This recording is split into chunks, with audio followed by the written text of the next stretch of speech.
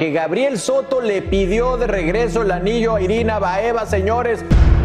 Lo que mal empieza, mal termina. Creo que le atiné, porque creo que en ese tipo de anillos también, entre más discreto y más chiquito, es mejor. Yo me estoy separando y pues bueno, las cosas son así. En el año 2020, Irina Baeva y Gabriel Soto entablaron una de las relaciones más polémicas del mundo del espectáculo mexicano en los últimos años, pues tras estar casado con la actriz Geraldine Bazán e incluso procrear dos hijas, el actor inició un romance con la actriz Irina Baeva, pero ahora los rumores afirman que esta relación ya se terminó, con planes de boda y anillo de compromiso entregado.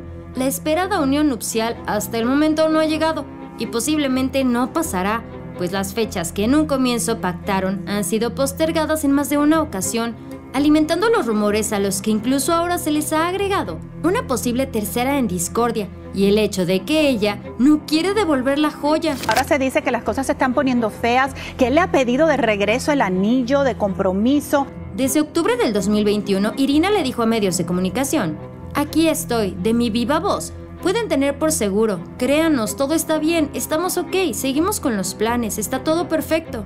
Ustedes han platicado muchas veces con él, nosotros siempre se los decimos a ustedes, nada más que no sé por qué la gente no nos cree.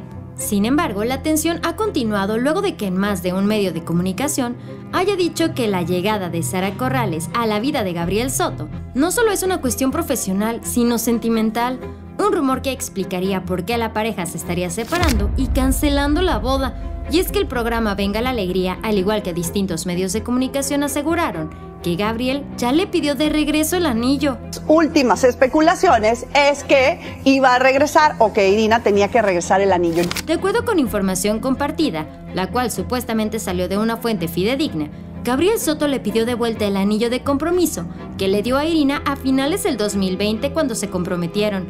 Sin embargo, Irina al parecer no lo quiere devolver, estilo Kristen Odal y Belinda. En el programa Venga la Alegría mencionaron, Soto le ha pedido a la actriz rusa que se lo entregue. Quien se ha negado a esta petición ha sido ella.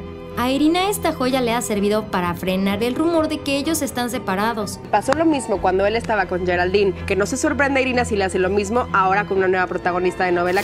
El programa además agregó que ya está todo listo para anunciar a los medios de comunicación la ruptura sentimental y cancelación de la boda, pero Irina sería quien no quiere que todavía se haga oficial.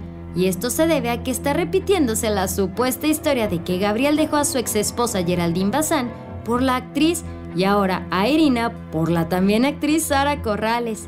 Esto fue Famosos de Cerca. Dale like a este video, suscríbete a nuestro canal de YouTube y síguenos en Facebook. Recuerda que puedes ver todos nuestros videos. Espero que tengas un hermosísimo día. Nos vemos muy pronto. Bye.